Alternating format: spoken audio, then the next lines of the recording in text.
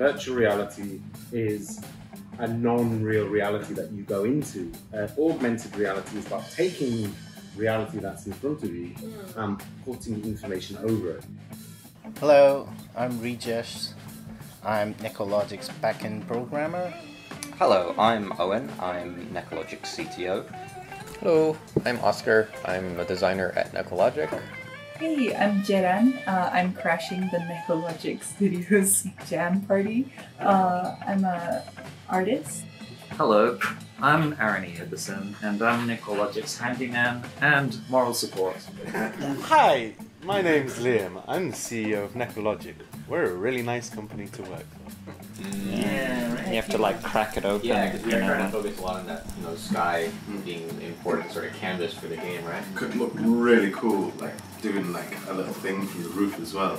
Because we've got the roof and it's just you can see. Uh, so yeah, you you see, know. we're just like, wow. That Yeah, yeah, would be yeah, really cool. smart. That would be really cool if That- you could actually Like, take there's advantage a- of being up, up high to see. further Yeah. Right now, we're just kind of exploring ideas for what we think of the game might be, and one of those ideas is about like mining, like either maybe walls that we have with the AR, Like bitcoins, isn't it?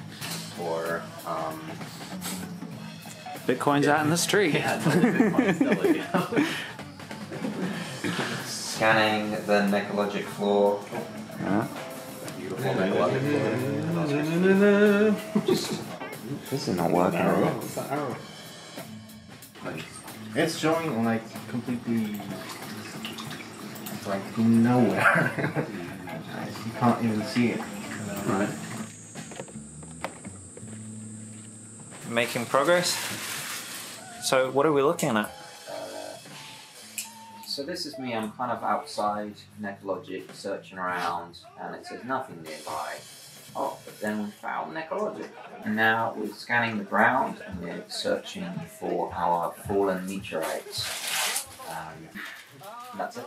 Cool, cool. Yeah, making progress.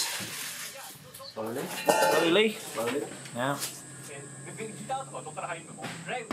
And I also have been working on some like UI stuff for this like, cool. device that I made.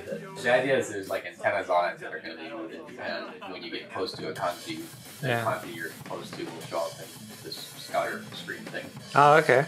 He's made it. He's actually a god. He is like a god. Yeah, I created it. Is it, have you created a wall around it? Yeah. The Great Wall of Sakya. Great Wall of Sakyoka. All the kanji are stuck inside. That is awesome. That actually is really cool. Well done. It gives you like a depth buffer, so it uses the camera to then work out every pixel how deep something is. It can tell what's the sky, it can tell what's foliage, it can tell what's a building, and it can tell what's the road. So you can kind of do funky things like make things appear in the sky.